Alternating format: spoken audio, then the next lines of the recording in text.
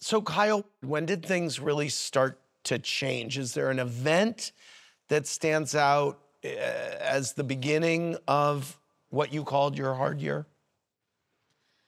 You know, like with, with any marriage, there's issues that you know you have, and they come up, and then something, like I said in my interview, happened where I did lose my trust, and Something that he did?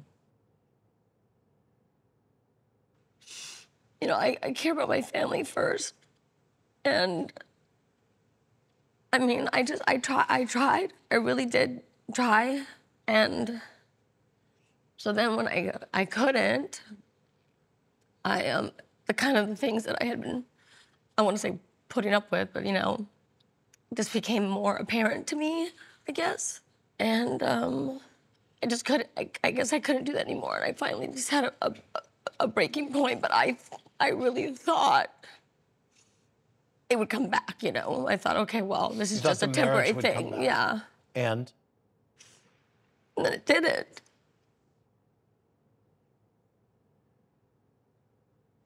did you want it to?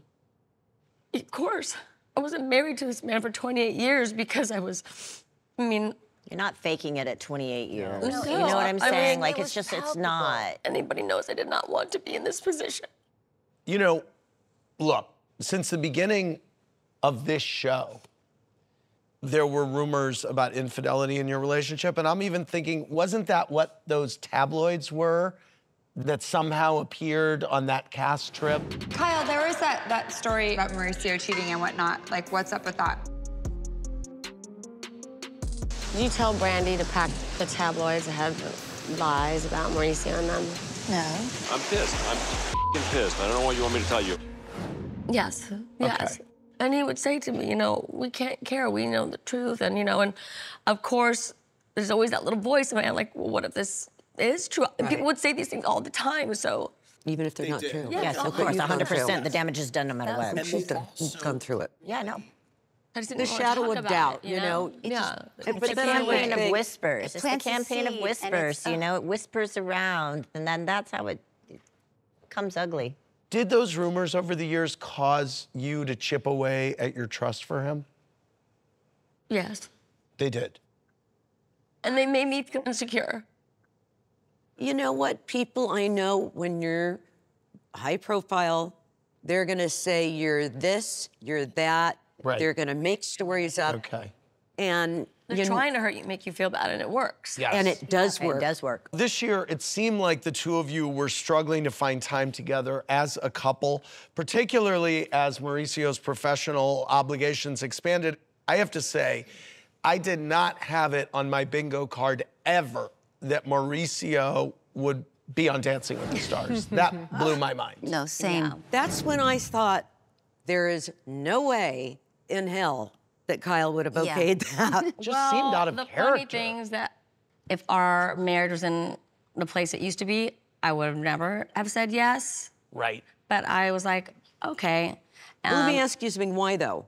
It's not like you would be jealous or anything. Oh, yes, I would.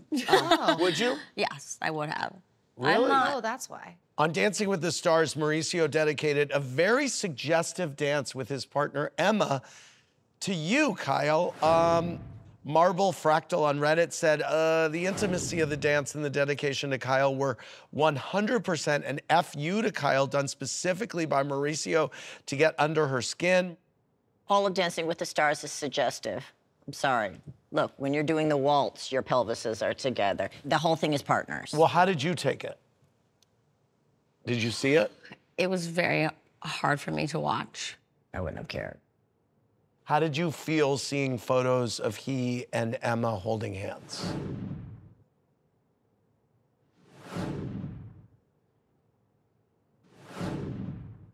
Not feel good. How did you take it, Dorit? I didn't like it. When I saw it, it, it felt like me seeing PK holding another woman's hand. You've said we're separated, we're broken up. Yeah, we are uh, separated. We're allowed to do what we want to do, each of us. We are so then allowed. when you see him like partying it up in Aspen with a bunch of women, I mean, does that, how are you handling that? it's weird because we live together in the same house. So it's sort of like, what are you doing? Adam from Atwater Village said Kyle's dancing around the reason for her split. What's the real reason and why won't she just spit it out?